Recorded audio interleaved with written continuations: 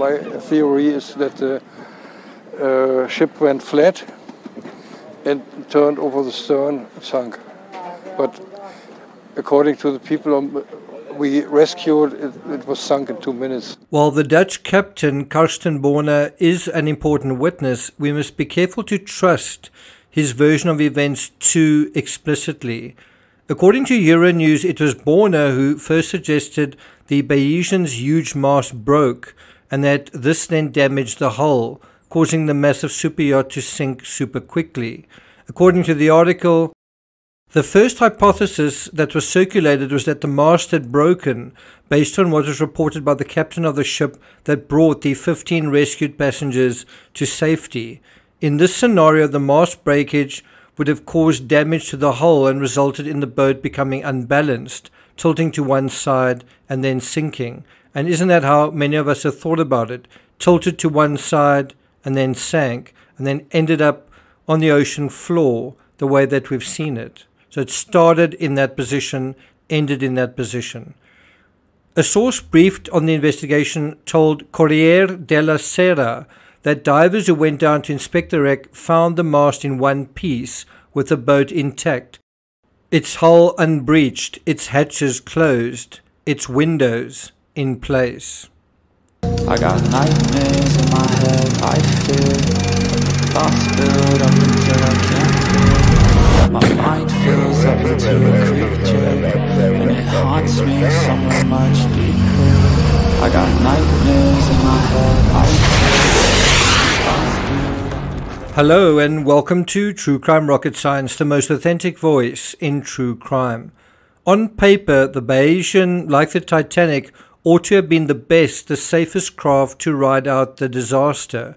From The Guardian, Gabriele Bruni, a sailor who has twice participated in the America's Cup and has coached the Italian Olympic team, said, If they had asked me that night on a stormy day in which sailboat in the world I would have wanted to be, I would have chosen the Bayesian. So, why was the Bayesian, like the Titanic, the worst? Boat to be in in an emergency. I do think size and extravagance have a lot to do with it. In this analysis, we're going to deal with the design, but more particularly the correct way, certainly in my opinion, to think about this tragedy. And I think that is where a lot of the problem in terms of this whole thing is, is coming from, why people are struggling to figure it out, is they're stuck in patterns of thinking. And I've noticed a lot of people saying, I've got 40 years of experience. I've got so much experience as a yachtsman. I know exactly what happened here. You don't know anything. Well, that is another example of being stuck in a pattern of thinking. Obviously, as someone coming in from the true crime thing, I don't have any horse in the race. I, I'm not siding with the manufacturer, the crew, the victims, the vessel, any of those. I'm just trying to figure out what happened here. And we'll see whether that is of benefit to figuring out the the um, truth of the matter in an um, unbiased way. Before we get to that, if you haven't subscribed to the channel, please do. Welcome to the many of you who have subscribed. I've obviously covered the Titan submersible in great detail. So if you find this analysis worthwhile, go and have a look at that. I'll put a link to the playlist in the description. If you find this analysis worthwhile, please like, share, leave a comment. You can also hit the thanks button and let's get started. Think about it size and extravagance are what the Bayesian and the Titanic have in common. But I also think the psychology around size and extravagance and wealth and prestige is worth looking at.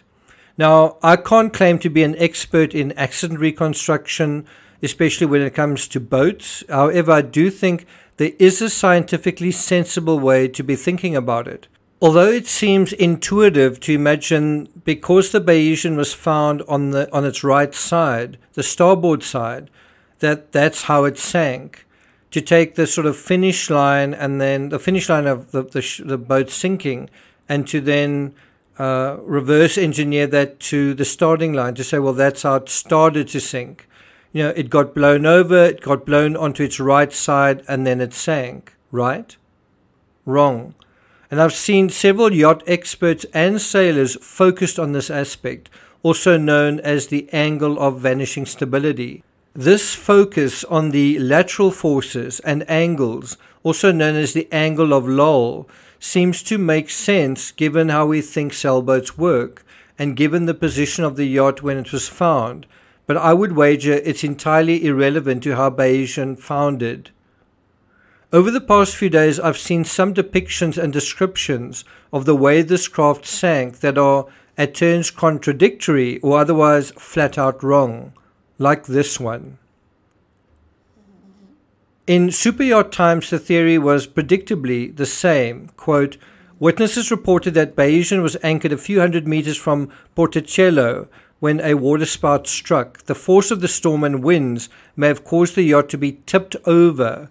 Those words need to be emphasized tipped over, leaving her deck below the surface and making it difficult to rebalance her. So it's interesting to me how expert yachtsmen have all defaulted to the same intuitive narrative and yet the reality here seems to be counterintuitive. Now, I've been using the one maritime disaster I know pretty well, Titanic, to compare to this one. And one might say they are completely different vessels and it's a completely different situation. And I can see how there is some truth in that. But there's also truth in the fact that both the Bayesian and the Titanic share similar psychologies extravagance, prestige, oversized luxury, and hubris. And so one has to wonder what is more decisively compelling and significant here psychological cogency, which has to do with human nature, or just the anemic cogency of sailing vessels in and of themselves, which has to do with the nature of sailing vessels. I also think the Titanic provides useful allegory for simply thinking in general terms about how a, a ship sinks you know, beyond the psychology, think about the dynamics involved. I mean, when a ship fills with water and sinks, just how that process plays out. The Titanic, you may recall, suffered damage to the starboard side, and yet it remained upright. It didn't turn onto its starboard side and sink, and indeed, even the wreck on the ocean floor, which is really a, a long way beneath the surface where it struck the iceberg, well, it is still upright as well although unlike the Bayesian, far from intact. In terms of the Bayesian, I've found three different versions for how it sank in the media bow first, stern first, and that it sank while turned on its side. So, what really happened? This man, 36 year old Fabio Cefalù, a local fisherman, said he saw the whole thing. He arrived at the port at 3:30 a.m. and he saw flashes of lightning illuminating the sky. Quoting from The Guardian, at 3.55 a sort of mini tornado arrived, Cefalù said. I have seen many storms in my life, but I had never seen anything like this. I saw the wind sweep the chairs and tables of the bar, heading towards the boats in the harbour. The docks diverted the whirlwind, which went straight towards the yacht. Now, what's incredible is that one assumes the crew on the one vessel were alert and prepared and awake, while those on the other vessel weren't. Isn't that how you thought about it? But now that turns out to be not true either. The captain of the Sir Powell was also awakened by the storm. We were awakened by the storm, Karsten told The Guardian. The first thing I did was start the engines of my sailboat to give more stability to the vessel. After securing our boat, we immediately approached the Bayesian. And so we can rightly ask if the one captain was able to take decisive action, action that turned out to be effective, and they were essentially facing similar weather, why couldn't, why didn't the other captain? It may be that a waterspout struck the one vessel and not the other, and so the one bore the brunt of a sudden, a sudden weather uh, situation, perhaps full on, while the other did not.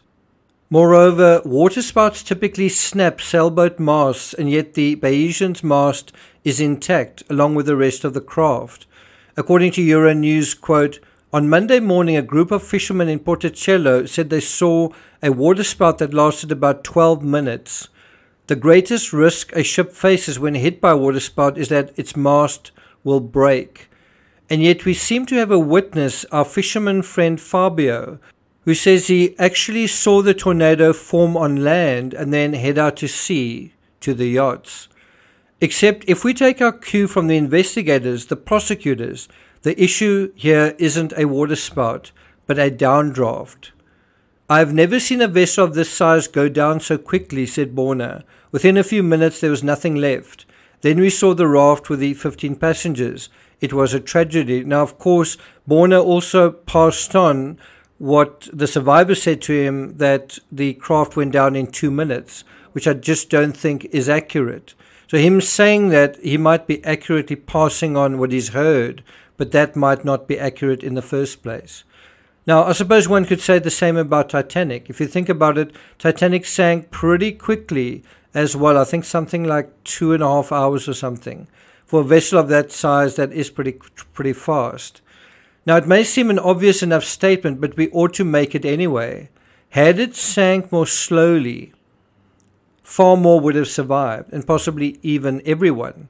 And the same applies to the super yacht. This prompts us to ask again how did it sink and why did it sink so quickly?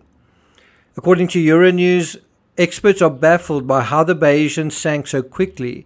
Italian media, speaking with Coast Guard sources, reported that a hatch allegedly remained open and that the keel was partially raised. Some experts speculate that the crew may have underestimated the weather bulletin. According to FT.com, quote, investigators found the boat sank stern first, not bow first. That's according to Ambrogio Cartosio, Italian public prosecutor. And now, the number one clue we all missed. Stern first is the opposite way to which the Titanic sank. Titanic sank with its arse in the air. Titanic sank bow first. Why? Because the bow side filled with water first. The bow side became heavier and then simply sank nose first, like this. Unlike Titanic, the Bayesian sank with its nose in the air. And so in this case, the rear, the stern of the super yacht filled with water, and then steadily the ship went vertical. A little like this, or like this, but not like this, and not like this, or this. The discovery followed analysis of the position of the vessel on the seabed, interviews with survivors, and the testimony of skipper Karsten Borner, whose yacht was anchored near Bayesian when the storm hit. So even though they spoke to the captain, seems the prosecutor came to a different assessment. Even though they spoke to witnesses who saw the water spout, the prosecutor still thought we think this is more to do with a downdraft than the actual tornado. We know that the engine room number two in the graphic was situated more on the stern side, that's the rear side, so the stern flooding would explain why the yacht lost power and ended up dead in the water. It should also be noted that the two major hull hatches are both situated on the rear as well, the stern side, including the swimming platform and the tender garage. If the stern side sank first, then there was less time for the important guests to get to safety and more time for the crew to respond. Now, if you again, if you look at the graphic, you can see where on the craft the um, the guests would have stayed, which is more on the stern side, and where the crew were situated, which is more on the bow side. So obviously, the side that would start sinking first would give those people less time to respond. And so, which side has less time to respond? The stern side, the guest side. And that's the side where most of the casualties are. It also explains why so many of those who drowned were found in the crew quarters. Think about Jack and Rose and everyone on Titanic. They're trying to evade the inexorably rising water. One can also imagine once the vessel went vertical, how difficult it would be to navigate out through the usual exits. Again, as soon as the craft turns vertical, you've got to think about the craft in a totally different way, which is quite difficult to do. Bayesian, the fairy tale idea of the ship like Titanic, lingers even after it sank. And so, do you see in the same way, people can't imagine the ship sinking because they are so attached to a fairy tale of luxurious extravagance. Even after the ship has sunk, they still can't let go of the fairy tale and still can't imagine what really happened.